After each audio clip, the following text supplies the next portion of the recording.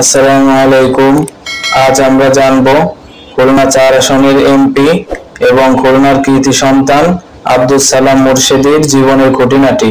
এই ভিডিওটিতে আমরা জানতে পারব তার শৈশব হতে বেড়ে ওঠা, তার খেলাধুলা, তার পারিবারিক জীবন কেমন ছিল, তার রাজনৈতিক কেরিয়ার সব খুঁটিনাটি এই ভিডিওটির মাধ্যমে আমরা জানতে পারব। আব্দুল সালাম মুর্শেদি বাংলাদেশের খুলনা জেলার রূপসা উপজেলার নৈহাটি গ্রামে জন্মগ্রহণ করেছেন এবং সেখানেই তার শৈশব অতিবাহিত করেছেন। তার বাবার নাম মোহাম্মদ ইসমাইল এবং তার মাতার নাম মোসাম্মদ রিজিয়া খাতুন। তার চার ভাই ও দুই বোনের মধ্যে তিনি একমাত্র ফুটবল খেলোয়াড় ছিলেন। তার বড় ভাই জামাল হায়দার উনিশশো একাত্তর সালের পূর্বে ভলিবলে পূর্ব পাকিস্তানের প্রতিনিধিত্ব করেন। তার তৃতীয় ভাই আবুল কালাম আজাদ উনিশশো সত্তরের দশকের শেষের দিকে এবং উনিশশো আশির দশকের শুরুতে বাংলাদেশের বডি বিল্ডিং চ্যাম্পিয়ন ছিলেন। খুলনা চার আসনের সংসদ সদস্য আব্দুল সালাম মুর্শিদি বর্তমান দায়িত্বধীন আছেন। তার ব্যক্তিগত বিবরণ জানব।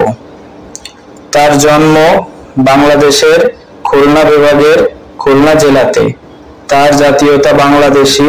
তাহার পেশা, তিনি একজন ব্যবসায়ী, তিনি একজন রাজনীতিবিদ এবং তিনি একজন ক্রীড়াবিদ। তার পুরস্কার সম্পর্কে জানব। তার পুরস্কার বড় ধরনের দুটি পুরস্কার রয়েছে। জাতীয় ক্রীড়া পুরস্কার দুই এবং কর বাহাদুর পরিবার দুই হাজার সতেরো। তার রাজনীতির কেরিয়ার বাংলাদেশ আওয়ামী লীগের সাথে সংযুক্ত হয়ে তিনি দুই সালের সেপ্টেম্বর মাসে খুলনা চার আসনের জন্য বিনা প্রতিদ্বন্দ্বিতায় জাতীয় সংসদ সদস্য নির্বাচিত হন। তিনি দুই হাজার চোদ্দ সালে বাংলাদেশ সরকার কর্তৃক বাণিজ্যিকভাবে গুরুত্বপূর্ণ ব্যক্তি সিআইইপি হিসেবে নির্বাচিত হন। তিনি বর্তমানে বাংলাদেশ ফুটবল ফেডারেশনের জ্যেষ্ঠ সহসভাপতি এবং ইনবয় গ্রুপের ব্যবস্থাপনা পরিচালকের দায়িত্ব পালন করেছেন। এছাড়াও তিনি বাংলাদেশের এক্সপোর্ট অ্যাসোসিয়েশনের ইএবি সভাপতি। এবং বাংলাদেশের পোশাক প্রস্তুতকারক ও রপ্তানিকারক সমিতির বিজিএমইএ সভাপতি ছিলেন। তার ক্লাব ফুটবল। আব্দুল সালাম মুর্শেদি ফুটবলে একজন অত্যন্ত সফল কেন্দ্রীয় আক্রমণাত্মক খেলোয়াড় ছিলেন। তিনি খুলনায় ফুটবল খেলা শুরু করেন। উনিশশো সত্তরের দশকে তিনি খুলনায় ইয়ং বয়েজ ক্লাবের হয়ে খেলার মাধ্যমে তিনি তার জ্যেষ্ঠ পর্যায়ে খেলোয়াড় জীবন শুরু করেন। তিনি উনিশশো সত্তরের দশকের শেষের দিকে খুলনা থেকে ঢাকায় আসেন। উক্ত সময়ে তিনি আজাদ স্পোর্টিং ক্লাবের হয়ে ঢাকা জ্যেষ্ঠ বিভাগ বিজে বিজেএমসি দলের হয়ে খেলেন এবং তাদের লিগ শিরোপা জয়লাভ করতে সাহায্য করেন। তিনি উনিশশো আশি সালে ঢাকা মহামেডানে যোগদান করেন। ঢাকা মহামেডানের হয়ে তিনি উনিশশো আশি এবং উনিশশো বিরাশি সালে লিগ শিরোপা এবং উনিশশো আশি সাল থেকে টানা চারবার ফেডারেশন কাপ শিরোপা জয়লাভ করেছেন। উনিশশো একাশি সালে তিনি ওয়ারির বিরুদ্ধে সুপার লিগ ম্যাচে চারটি গোল করেন। এই গোলের মাধ্যমেই তার ক্যারিয়ারের নতুন উন্মোচন করেন।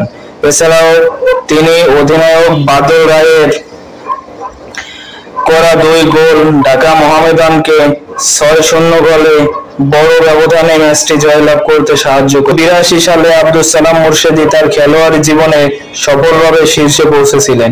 তিনি ভারতের পশ্চিমবঙ্গে অনুষ্ঠিত আশিস জব্বার গোল্ড কাপের দশটি গোল করার মধ্য দিয়ে মৌসুম শুরু করেন। তিনি ঢাকা মোহামেডানের হয়ে শিরোপা জয়লাভ করার পাশাপাশি উক্ত মৌসুমে সর্বোচ্চ গোলদাতার পুরস্কারও তিনি খেতাব করেন। এরপর ঢাকা লিগে তিনি এক মৌসুমে সাতাশটি গোল করেন এবং তার জীবনের নতুন রেকর্ডও। পুরো মৌসুম জুড়ে তার এবং দশ নম্বর জার্সি পরিহিত বাদল রায়ের সঙ্গে একটি চমৎকার বোঝাপড়া দেখা গিয়েছিল। তবে তিনি উনিশশো তিরাশি সালে হাতে আঘাত পান। যদিও তিনি কয়েক মাসের মধ্যে ফুটবলে ফিরে আসেন, তবে তিনি আর কখনোই আগের মতো খেলতে পারেননি। আব্দুল সালাম মুর্শেদির আন্তর্জাতিক ফুটবল কেরিয়ার। আব্দুল সালাম মুর্শেদি বাংলাদেশের অর্ধ উনিশ দলের হয়ে খেলার মাধ্যমে বাংলাদেশের প্রতিনিধিত্ব করেছেন। উনিশশো আশি সালের ডিসেম্বর মাসে তিনি ঢাকায় অনুষ্ঠিত ম্যাচে বাংলাদেশের অনূর্ধ্ব উনিশ দলের হয়ে আন্তর্জাতিক পর্যায়ে অভিষেক করেন। বাংলাদেশের অনূর্ধ্ব উনিশ দলের হয়ে খেলার সময় তিনি বিজেএমসি দলের হয়ে আসলামের সাথে খেলেছেন। বাংলাদেশের উক্ত বাছাই পর্বে রানার আপ হয়েছিলেন তিনি এবং মূল প্রতিযোগিতার খেলার যোগ্যতা অর্জন করেছিলেন সুফলভাবে।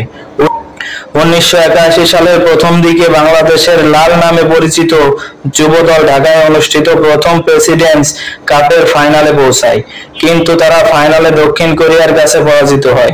উনিশশো তিরাশি সালে বাংলাদেশ সবুজ দলের হয়ে মালয়েশিয়ার বিরুদ্ধে খেলার সময় আব্দুল সালাম মুর্শিদি গুরুতরভাবে হাতে আঘাত পান।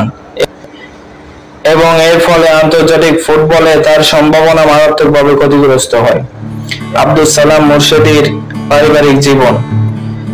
আব্দুল সালাম মুর্শেদি সারমিন সালামের সাথে বিবাহ বন্ধনে আবদ্ধ হয়েছেন এবং তাদের উভয়ই দুই ছেলে ও এক মেয়ে রয়েছে।